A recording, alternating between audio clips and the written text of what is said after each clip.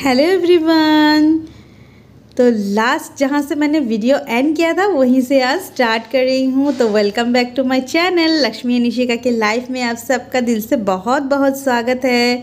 आप सब कैसे हो? आई होप आप सब बहुत अच्छे होंगे। पूजा आने वाला है। ये मुझे तो सोच के बहुत ज़्यादा खुशी हो रही है। मैं काउंट कर रही हूँ एक एक दिन जल्दी जल्दी से आ जाए। बट जल्दी जल्दी से आ जाए जब बोलूँगी ना तो ही चला जाएगा। आ, ऐसे दिन गिनने में ही अच्छा लगता है। एकदम आ जाने से ना उसके बाद बहुत जल्दी ख़त्म हो जाता है। है ना? तो इंतज़ार बहुत ज़्यादा मीठा होता है फल से। तो इंतज़ार करते हैं हम लोग। बस कुछ ही दिन ही बाकी है। शॉपिंग वॉपिंग गए हो कि नहीं आप लोग? मैं थोड़ा बहुत स्टार्ट कर दी हूँ तो लास्ट मैंने आप लोगों को दिखाया था, हमने स्वीट वगैरह लाया था फिर ये ना हस्बैंड पता नहीं कब जाके वो मेरे लिए ये इलिश फ़िश लेके आए मुझे पता ही नहीं चला।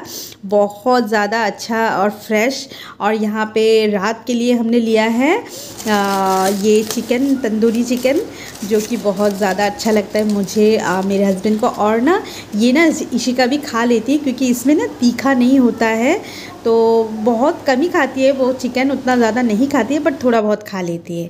तो यहाँ पे मैं फ़िश को अच्छे से धो के कंटेनर में डीप फ्रीज में रख दूँगी क्योंकि आज तो रात को मैं फ़िश नहीं बनाने वाली हूँ।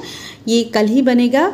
बट बहुत ज़्यादा फ्रेश और अच्छा फ़िश हमें मिल गया था। आप लोग पीसेस को देखने से ही आप लोगों को पता लग जाएगा, है ना? तो ये है नेक्स्ट डे का वीडियो गुड मॉर्निंग एवरीवन तो सुबह सुबह उठ के मैं लग गई हूँ अपने काम में और हस्बैंड थोड़े से चले गए हैं वर्क और ऋषिका अभी तक सोई है, उसको मैं नहीं जगा पाई और सोई रहे ना तो ही अच्छा है। मैं काम वाम कर लेती हूँ और चलिए मैं आप लोग को दिखाती हूँ। आज का वेदर लास्ट कुछ दिनों से इतना ज़्यादा कड़कदार धूप था तो ये वाला बीच में एक बारिश बहुत ज़्यादा इंपॉर्टेंट था तो फाइनली बारिश हो रहा है। और ये वाला बारिश देखने के बाद ना मेरा तो एकदम दिल गार्डन गार्डन हो गया है। मैं क्या बताऊँ, आप लोग भी थोड़ा मज़ा ले लीजिए हमारे मेघालय का वेदर का।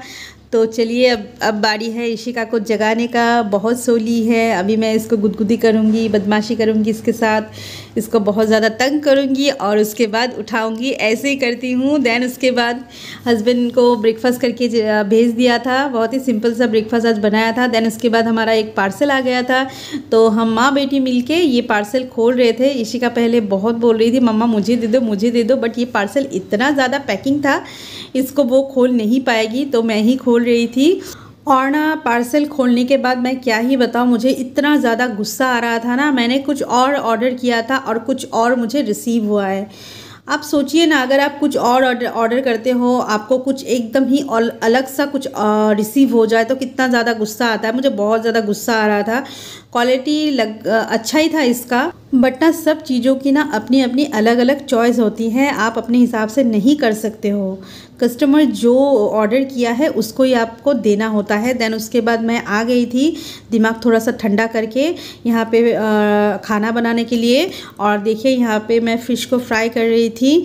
और ना इलिश फ़िश बनाते हुए भी मुझे बहुत ज़्यादा अंदर ही अंदर बहुत ज़्यादा खुशी होती है क्योंकि ये मेरा फेवरेट फ़िश है और मुझे बहुत ज़्यादा पसंद है। ना आप लोग देखिए, मैं बहुत झटपट से खाना बना लेती हूँ इंडक्शन में राइस कुकर में, दोनों ओवन में बिठा दी हूँ।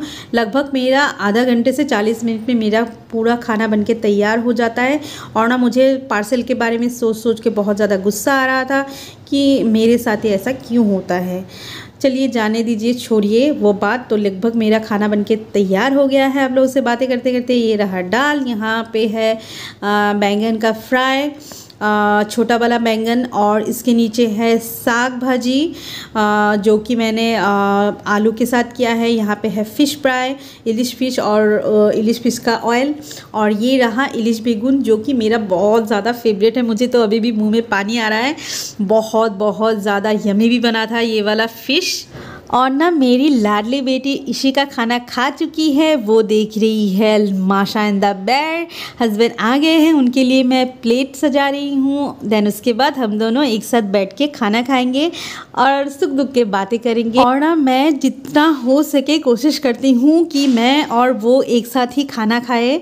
हम दोनों एक साथ खाना जब खाते हैं, मुझे बहुत ज़्यादा अच्छा लगता है। और ये चीज़ ना उनको भी अच्छा लगता है। और ये ना एक आदत बन गए हैं हम दोनों का। तो आज का ब्लॉग आप लोग लोगों को कैसा लगा? अगर ज़रा सा भी अच्छा लगे लाइक कमेंट एंड सब्सक्राइब कीजिएगा। Bye bye take care love you all of you